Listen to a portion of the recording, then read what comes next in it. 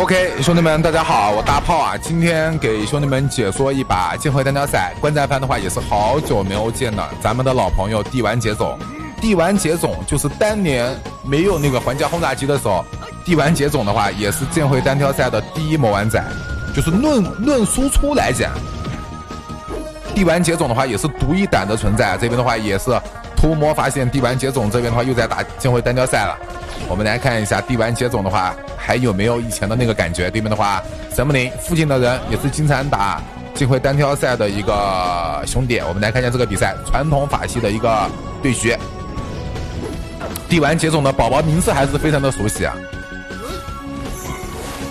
对面的话，冰川路搓宝宝，观战番这个群秒啊，法系秒法系，没有出法术暴击的情况下面秒他妈五千啊，这个有有点过分了。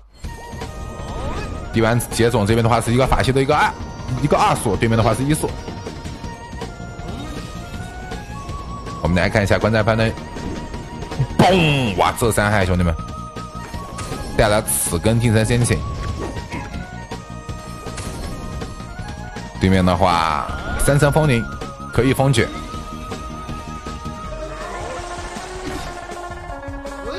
对面的话还是冰川搓宝宝。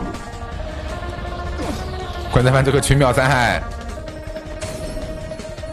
这个压迫力，就感觉对面有点缓不过来啊！对面宝宝不神一个的话，有点缓不过来。后排宝宝法术防御一旦被驱散的话，马上要被清掉。而且，我跟兄弟们说一下，而且对面是医术法系，你懂吧？就是你医术法系出宝宝，要被观战番群秒的呀！就是医术法系，你打。你打 PK 一定要是优势，你如果医术法系，你一旦没有优势，这个 PK 打不了。就观战番的话，你看很聪明，出了个地府的一个小孩，我打一把鬼眼之后，不管你出不出隐身的宝宝，你出宝宝之后，我这边接群秒，就这么简单。就二速法系就怕被点倒，被点倒之后的话，容易被锁脖，你懂吧？就所以说的话，医医术法系打比赛一定要有优势，你没有优势打不了。二速法系的话，就是比较怕被对面点，但是二速法系比较好出出地听，就是一速法系，你像这种局面的话，地听都出不了，就观战番把把局秒。所以说的话，对面在清宝宝，观战番的宝宝气血也多啊。OK，一个清四清一个宝宝，对面下一回合可以出宝宝，因为下一回合地完接中也得出宝宝。哟，观战番这个伤害啊，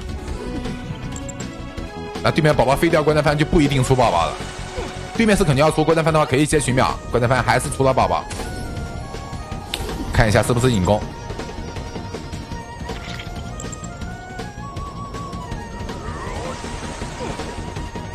哎，观战番其实打的很细啊，他这一回合出引攻，出这种高速引攻，就是怕对面这一回合出地听，你看见没有？其实观战番打的很细，地完接总这个伤害啊。地丸杰总的话是变连城的一个辅战法系啊，也是有硬件，只是说可能单挑宝宝的话，确实没有轰炸机那么绝。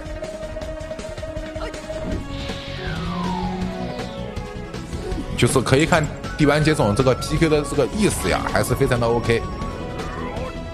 比赛的话十四回合，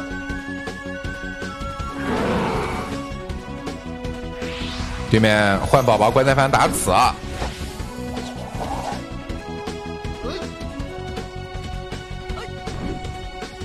两边的话可以看得到，其实两边的话其实也是不相伯仲。观战番十五个药，对面十四个药，三个宝宝都差不多。对面的话也打死，两边的话谁输谁赢还不好说。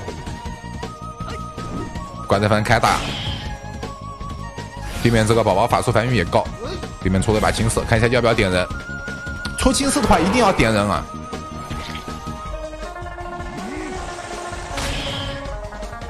对面还是选择新宝宝。就怕宝宝神啊！观战番的话开了一把大，哎呦，这伤害太高了。对面再抽青色，对面这两把青丝要是点人就好了。龙龟的话顶个药，对面可能是想先清小孩再打九转。我给小孩清掉，这一把比赛还不好说。关键翻到有鬼眼，对面出不了引攻。比赛的话十七回合，对面出宝了，关键翻接取秒。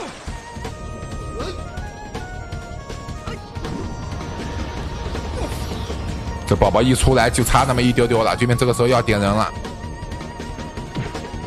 这个力劈出的不是特别好，对面秦三点，对面这个时候拼了，兄弟们，也不出宝宝。观战番再接续秒，打出对面的幺六三秒七仙，五层封顶，观战番龙龟可以顶个药，对面接一把风卷不出宝宝算了，要出就出龟速，OK，对面直接拼顶着幺六三风卷，观战番出宝宝了，我不跟你拼了，对面的话可以出个龟速。